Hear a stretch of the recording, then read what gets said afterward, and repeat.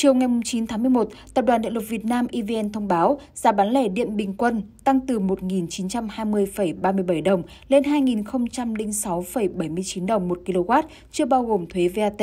tương đương tăng 4,5%. Theo ông Nguyễn Đình Phước, kế toán trưởng EVN, việc tăng sẽ giúp EVN thu thêm khoảng 3.200 tỷ đồng từ nay tới cuối năm. Sẽ làm cho tăng doanh thu cho tập đoàn khoảng 3.200 tỷ. Và cái việc tăng doanh thu này thì nó sẽ giảm à, không ảnh hưởng tác động đến tài chính của năm 2022. Tuy nhiên thì nó sẽ làm một giảm một phần khó khăn của năm 2022. Còn việc điều chỉnh giá lẻ điện bình quân thì sẽ sắp tới đây thì sẽ xem xét để thực hiện theo quy định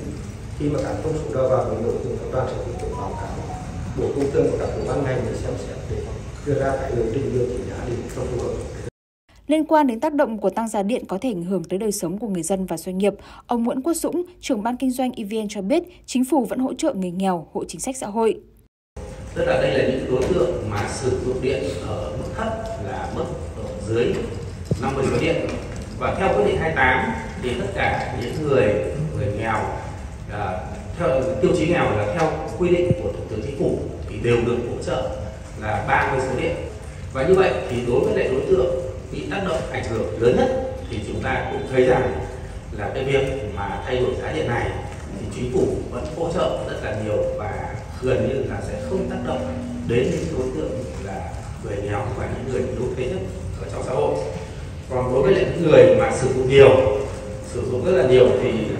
lên từ 400 từ 400 trở lên, từ ờ, từ bậc 6 trở lên thì cũng chỉ tăng thêm là 55.600 đồng. Và đây là những người có điều kiện cho nên là những tác động đối với lại đối tượng này sẽ ít Năm ngoái, tập đoàn EVN lỗ hơn 26.000 tỷ đồng sau khi tiết giảm các chi phí trên 10.000 tỷ đồng. Trong báo cáo gần đây của Bộ Kế hoạch và Đầu tư, khoản lỗ của EVN tăng thêm khoảng 28.000 tỷ đồng trong 8 tháng.